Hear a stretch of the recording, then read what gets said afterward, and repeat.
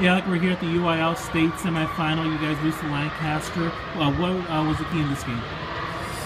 Um, I, we we try to slow it down because we knew they like to run, and we try to is- isolate or yeah isolate the big boy, and and um, they were we weren't able to get the job done. What did uh, what do you think you guys learned from this? Ultimately, just the experience coming here first, uh, Valley 518, to make it here.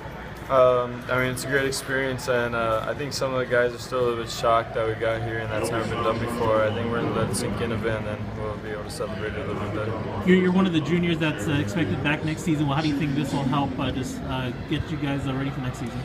I think we're, we're all going to be real real confident. and We're, we're going to try to get back here and try to get past this round.